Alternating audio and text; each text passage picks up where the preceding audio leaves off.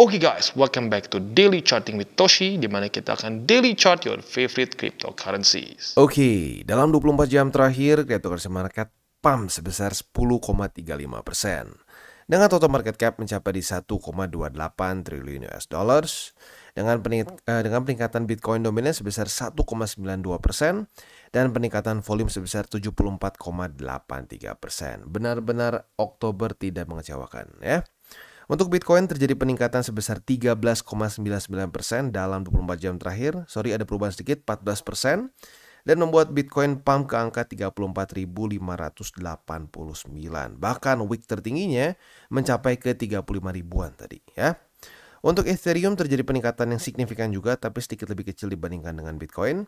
Dia pump sebesar 9,09% dan sekarang trading di angka 1833. BNB terjadi peningkatan sebesar 6,83 persen, XRP 5,81 persen, dan seterusnya ya. Yang mungkin double digit lagi adalah Dogecoin. Apa penyebabnya ya?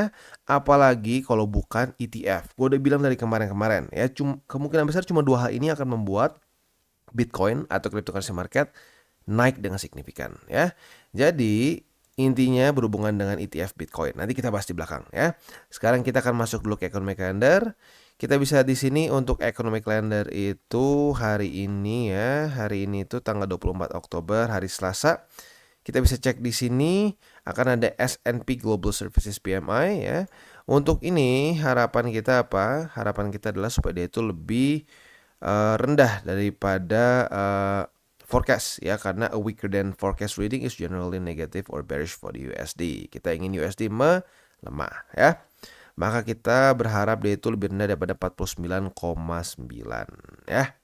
Itu untuk hari ini, untuk besok ya tanggal 25 kita bisa di sini dari US ada yang penting atau enggak? Ada ya, ada building permits satu dan juga ada new home sales dan juga ada crude oil inventories terakhir ya. Oke, jadi kurang lebih seperti itu untuk hari ini dan besok ya. Cukup banyak data-data penting dari US. Sekarang kita akan masuk ke newsnya. Jadi apa sih bang yang ngebuat Bitcoin pump? Ini dia alasannya ya. Karena Federal Court dia sudah mulai masuk nih ya mengambil alih, bukan mengambil alih lebih tepatnya ya. Oh, eh, dia itu menyuruh SEC untuk reconsider grayscale ETF conversion. Details detail seperti apa kita lihat di sini ya. Jadi ya Bitcoin pump lebih dari 10% bahkan sekarang 14 ya. Uh, setelah uh, basically court ya atau federal court ya. Di mungkin kok di Indonesia uh, di Indonesia itu Mahkamah Agung mungkin ya. Kayaknya seperti itu ya. Nah dia itu diminta untuk revaluasi tentang decision mereka mengenai Grayscale ya. Dan mereka kan Agustus lalu mereject conversion Bitcoin Trust ke spot exchange uh, ke spot exchange traded fund atau ETF ya. Ditolak mentah-mentah. Alasannya kenapa? Nggak tahu. Nah kali ini uh, kesannya Mahkamah Agung atau uh, Federal Courtnya mereka ini meminta SEC untuk pikirkan lagi, revaluasi. Kenapa mereka tidak approve? Ya. Nah, news ini membuat Bitcoin pump dengan cukup signifikan, ya. Nah, tetapi, tetapi, ya, bukan berarti pasti dia approve, ya. Ini lebih ke menunjukkan bahwa uh, banyak dari pihak apa ya, dari pihak negara pun banyak yang merasa bahwa SEC not doing their job gitu ya. Mereka tidak melakukan kerjaan mereka dengan baik, bahkan mereka sampai diminta untuk revaluasi. Ini pertanda bagus karena ini akan menjadi pressure untuk si ini uh, si Gary Gensler ya. Karena Gary Gensler sendiri pun secara politiknya sekarang doing bad. Kenapa? Lu tahu bahwa kemarin-kemarin itu ada gerakan dari beberapa politician Republikan terutama ya untuk memecat Gary Gensler karena dianggap tidak becus begitu ya meregulasi dengan cara yang aneh, membuat uh, apa namanya project-project kripto yang memang legit ya, lalu exchanger-exchanger yang memang legit jadi keluar dari US ya. Nah, jadi ini adalah suatu apa ya, suatu push ke arah yang benar menurut gua ya, tapi lagi-lagi bukan pasti di approve oleh SEC karena mungkin aja Gary Gensler bisa lanjut teler ya. Oke. Okay. Nah, news yang kedua ya. News yang kedua ini ngomongin soal ETF-nya BlackRock ya. Nah, jadi ini lagi-lagi belum dipastikan dia akan listing, tetapi atau belum dipastikan approve, tetapi tiba-tiba keluar bocoran seperti ini ya. bocoran di mana bahwa ETF dari si BlackRock ini sekarang listed di Depository Trust and Clearing Corporation dengan udah ada tikernya bahkan. Tikernya adalah IBTC ya. Nah, lagi-lagi nih ya. Ini bukan ngomong udah pasti, tapi kesannya gini. Lu belum tahu nih kita mau makan apa. Tapi di bawah tiba-tiba udah wangi apa? Udah wangi ayam goreng. Kemungkinan apa? Ya kemungkinan besar kita makan ayam goreng. Tapi pasti nggak? Ya nggak ada yang pasti. Kasarnya seperti itulah ya. Jadi dua news ini yang membuat Bitcoin pump dengan sangat signifikan. 14,36 bahkan sekarang ya. Oke, sekarang kita akan masuk ke TA. Untuk Bitcoin terjadi perubahan yang sangat signifikan tentunya ya. Kita bisa di sini dia menembus berapa ya dalam sehari? 1, 2, 3, 4 ya. Jadi jelas kalau udah tembusnya gila seperti ini double digit biasanya yang terjadi adalah fundamental ya dan ini fundamentalnya ya. Seperti yang gue bilang dari video-video gue sebelumnya yang akan menggerakkan Bitcoin itu dua hal ya, yang besar secara besar ya. Yang pertama adalah keputusan Jerome Powell mengenai interest rate ya. Yang kedua adalah mengenai ETF spot Bitcoin. Dan voila, benar ya. Yang menggerakkan Bitcoin sampai 14% ya, sampai weeknya itu ke 35.000 berapa nih tertinggi hari ini? 35.265 adalah apa? Adalah Bitcoin ETF spot ya. Jadi kalau ada yang masih nanya-nanya, emang ngaruh gitu bang? Ya lihat sendiri. Ini belum di approve aja udah seperti ini ya. Nah, nanti kalau udah mulai mendekati di approve, hati-hati juga sih. Sebenarnya kalau udah mulai uh, mulai udah mungkin tahun depan kayaknya ya. Nah, di situ bisa buying the rumor begitu. Jadi kalau sebenarnya lu nanya kapan sih bang tempat yang paling bagus buat beli ya udah kelewat sebenarnya di bawah-bawah sini ya. Tapi nggak apa, nggak apa. Kita akan terus averaging up ya. Nah, uh, jadi untuk sekarang PR dari Bitcoin apa? PR dari Bitcoin adalah for now ya ini karena dia loncatnya cukup ekstrim kita bisa di sini. Uh, ya kalau gue sih sekarang nggak muluk-muluk lah. Gue berharap dia bisa bertahan dulu stabil di atas dari 32.000 ini kita bulatkan di atas ini ya uh, dibulatkan ke atas. Jadi bertahan di atas dari 32.000 gitu ya. Siap-siap kemungkinan besar akan terjadi koreksi. Ke 32.000 ini sangat memungkinkan karena lagi-lagi ya pergerakan besar pump itu biasanya akan terjadi corrective movement juga. Pasti nggak? Nggak ada yang pasti ya. Tetapi biasanya seperti itu. 90% seperti itu. Jadi Bang, beli sekarang nggak? Ya jangan, jangan, jangan beli sekarang udah pasti ya. Risk rewardnya nggak worth it kok seperti itu ya. Oke, sekarang kita akan masuk ke apa namanya ini ya. Ntar kita coba cek dulu sih ini uh, Bollinger Band ya, ya. Kita lihat di sini dia daily-nya itu tembus dengan sangat signifikan ya. Dia tembus jauh di atas dari Bollinger Band. Jadi lagi-lagi eh ya jangan dipaksakan beli di sini udah pasti ya. Nah, sekarang kita akan geser ke weekly. Untuk weekly kita bisa di sini ya, Bitcoin semakin jauh dari bull support band ya. Bull support band itu sekarang kan ada di angka 28.500 sampai 28.193. EMA 200 juga di, di sekitar daerah situlah 28.400-an. That's good, that's good ya. Artinya semakin menjauh dari sini dan bahkan nggak perlu retest langsung rally ke atas. Luar biasa ya. Jadi kadang-kadang beberapa movement TA yang klasik itu bisa batal karena fundamental ya. Jadi kurang lebih seperti itu ya. PR weekly-nya apa? PR weekly-nya adalah weekly close setinggi mungkin, sejauh mungkin dari bull support band. Supaya apa, Bang? Supaya bull support band-nya naik ya. Kalau bull support band-nya naik, dia lebih gampang retestnya di atas begitu ya. Jadi kurang lebih seperti itu PR untuk di weekly dari Bitcoin ya. Kalau bisa sih harapan gue dia weekly close di atas dari struktur ini nih struktur di uh, di 32.534. Ini kayaknya di daily deh secara strukturnya. Yes, di sini ya. Nah, jadi ini kan support nih tadinya. Support jebol jadi resisten. Nah, sekarang gue berharap ini di reclaim lagi menjadi support begitu ya. Oke. Jadi kurang lebih seperti itu untuk BTC. Sekarang kita akan geser ke indeks dolar.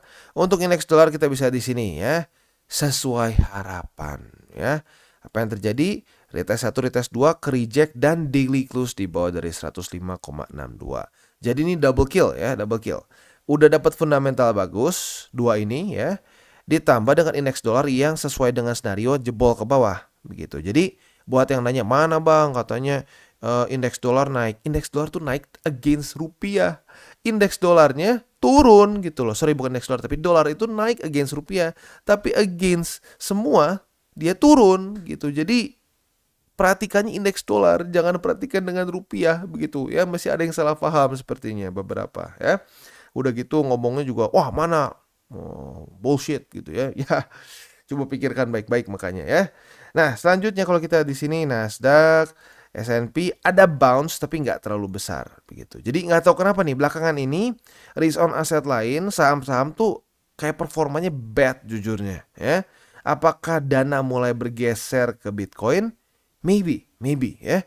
Karena Bitcoin secara beberapa bulan terakhir doing good begitu. Jadi hmm, maybe, maybe ya kalau ada yang nanya, "Bang, ada nggak sih nih kemungkinan duit-duit saham tuh pindah ke kripto? Mungkin menurut gua ya karena gua inget di cycle lalu gitu ya orang banyak yang wah udah baik aja ke saham jangan ini gue jadi susah nih saham jadi turun terus ya maybe because of that ya karena sama-sama risk on ya Oke, okay, selanjutnya kita akan geser ke buy limit. Sebelum kita masuk ke buy limit, seperti biasa gue akan disclaimer dulu bahwa semua konten dari TC ini bukanlah financial advice. Ini sebuah bentuknya adalah edukasi.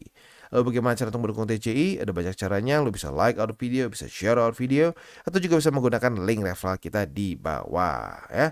Dan buat lo sedang mencari-cari hardware wallet, bisa pertimbangkan untuk beli di Encrypt. Karena Encrypt ini adalah authorized reseller dari berbagai macam brands yang ada di sini ya.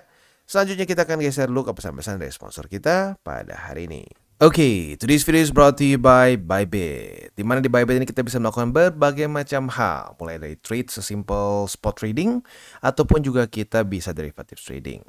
Dan tentunya di Bybit ini banyak sekali promo-promo, salah satunya sekarang sedang berjalan adalah 8 juta USDT price pool yang kita bisa dapatkan di 2023. Dan ada Lamborghini dan juga Rolex yang menunggu kalian. Dan juga buat kalian tertarik untuk masuk di Bybit, ada juga sign up bonus mencapai 5000 USD ya. Di sini tentunya kita bisa lakukan berbagai macam hal ya, trade berbagai macam aset class juga. Buat kalian tertarik bisa silakan menggunakan link referral kita di bawah dan buat update mengenai apa ya, mengenai segala macam hal yang paling baru mengenai Bybit bisa cek di link description kita di bawah. Oke, okay, dan sekarang kita masuk ke Bitcoin. Untuk Bitcoin kita bisa di sini ya. Posisi spot otomatis berubah jauh ya. Buy limit pertama jadi di angka 31.900 uh, di 31.943 atau dibulatkan ke 32.000 juga boleh. Buy limit kedua di 31.159 dan buy limit ketiga di 30.699 atau dibulatkan ke 30.700 juga boleh. Itu untuk posisi spotnya.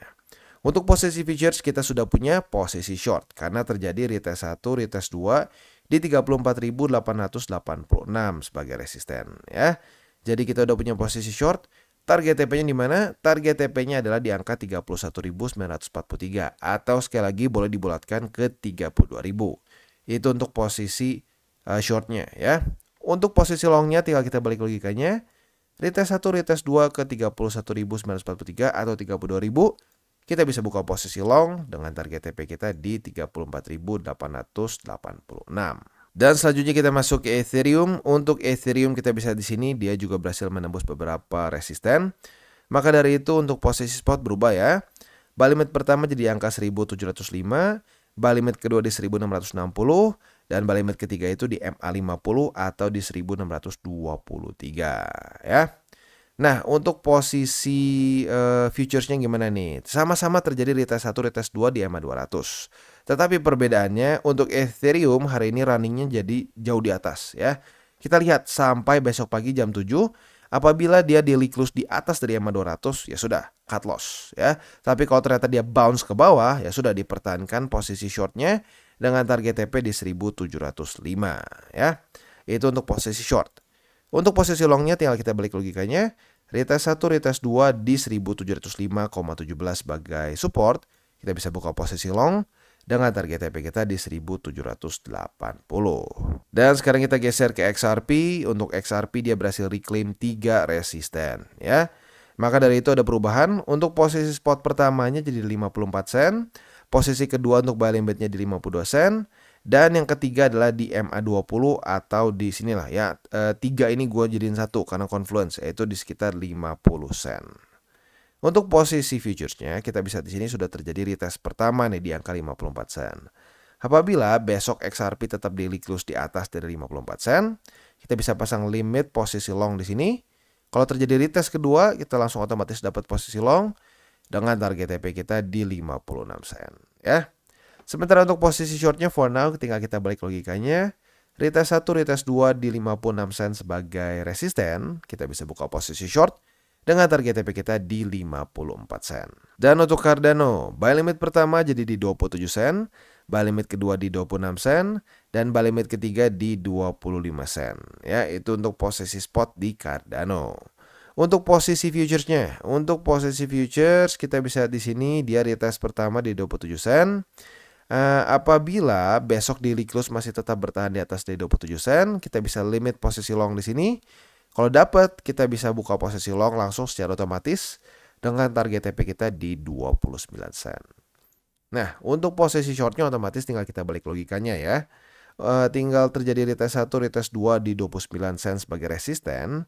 Kita bisa buka posisi short dengan target TP kita di 27 sen. Dan yang terakhir kita masuk ke Chainlink. Untuk Chainlink dia reclaim satu ya, satu resisten. Jadi untuk posisi spotnya sekarang buy limit pertama di 9 dolar lebih 30 sen, buy limit kedua di 8 dolar lebih 36 sen, dan buy limit ketiga di MA20 ya, yaitu di angka 7 dolar lebih 93 sen. Nah, untuk posisi futuresnya mirip-mirip seperti BTC ya, sudah dapat posisi short karena terjadi retest 1, retest 2 di 10 dolar lebih 94 sen ya. Kita sudah punya posisi short dalam keadaan profit juga. Target TP-nya di mana? Target TP-nya adalah di angka 9 dolar lebih 30 sen ya. Nah, seperti biasa gue ingatkan, pada hari ini akan keluar tiga, eh, bukan tiga, akan keluar satu data penting dari US ya. Nah, buat lo yang pegang posisi futures dan dalam keadaan profit, belum kena target TP, udah deket-deket ke jam segini, boleh pertimbangkan untuk TP manual buat yang konservatif ya. Karena apa? Kita nggak tahu nih datanya bagus atau jelek untuk uh, aset yang kita pegang itu atau posisi yang kita pegang. Maka dari itu kalau konservatif TP aja ya. Buat yang agresif, monggo silakan atur sendiri resikonya ya. Jadi kurang lebih seperti itu untuk activity kita pada hari ini. Seperti biasa gue ingatkan, jangan pakai uang panas, jangan over leverage, dan berpikirlah jangka panjang. Dan menurut lo, kira-kira ya, buat lo yang ngelihat seperti ini, yang paling profit siapa? Yang memikirkan jangka panjang. Kalau berpikir jangka pendek, menurut gue ya nggak nggak akan kebagian ya. Jadi lagi-lagi ingat berpikirlah jangka panjang. Oke guys, jadi itu adalah akhir dari segmen DCWT kita pada hari ini. Dan jangan lupa bagi kalian yang merasakan manfaat dari segmen ini, jangan lupa untuk share ke teman-teman kalian. Dan apabila lu pengen mensupport channel kita, ya TCI, jangan lupa untuk menggunakan link referral kita di bawah. Nggak wajib, ya, tetapi apabila lu menggunakan link referral kita di bawah, ada macam-macam ya, dari Bybit, Huobi, Maxi, toko kripto, dan banyak lagi. Ya, ya walaupun nggak wajib, tapi kalau menggunakan link referral kita, lu secara langsung membantu perkembangan dari TCI. Dan satu lagi, jangan lupa juga untuk join Telegram group kita, di mana kita bisa ngobrol-ngobrol santai mengenai dunia cryptocurrency secara dua arah. So, jangan lupa untuk like, subscribe, klik the bell icon, and see you on the next video.